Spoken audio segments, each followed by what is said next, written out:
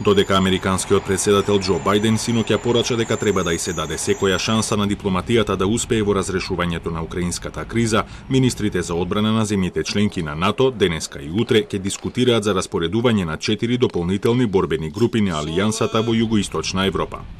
Ваквата најава повеќе од сигурно е дека ќе ја разлути Москва, дополнително што вчера Руското министерство за одбрана соопшти дека дел од единиците започнале да се повлекуваат и најмногу затоа што едно од главните барања на Русија е намалување на НАТО присуството во Источна Европа.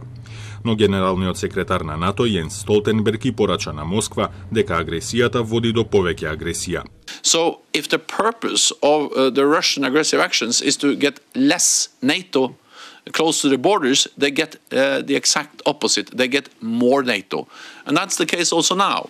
Uh, we have increased our presence in the eastern part of the alliance um, as a direct uh, response to the very substantial uh, Russian military buildup in and around Ukraine. Четирите борбени групи кои се спомнуваат меѓу министрите во НАТО седиштето во Брисел би биле распоредени во Бугарија, Романија и евентуално во Словачка и Унгарија Но нејасно е дали унгарскиот премиер Виктор Орбан, кој пред неколку недели беше во самоиницијативна мировна мисија во Москва, би се согласил на таков чекор кој повеќе од сигурно е дека ќе го налути Путин. НАТО веќе има четири борбени групи во Источна Европа составени од оклопни единици против воздушна одбрана и разузнавачки елементи кои ротираат на терен уште од 2014 година и нивното распоредување беше резултат на руската анексија на Крим. Синоќа американскиот председател предупреди дека иако западните сојузници работат на дипломатско решение, сепак се подготвени едногласно да одговорат на нова агресија. The West is united and galvanized. Today our NATO allies and the alliance is as unified and determined as it has ever been.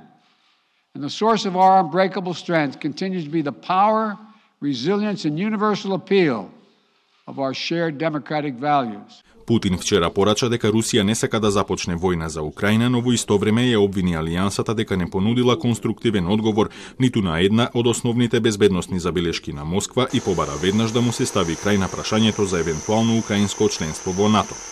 Германскиот канцелар Шолц, кој вчера му беше гостин во Москва, тврдеше дека тоа прашање не е на агендата на Алијансата и нема да биде во догледна иднина.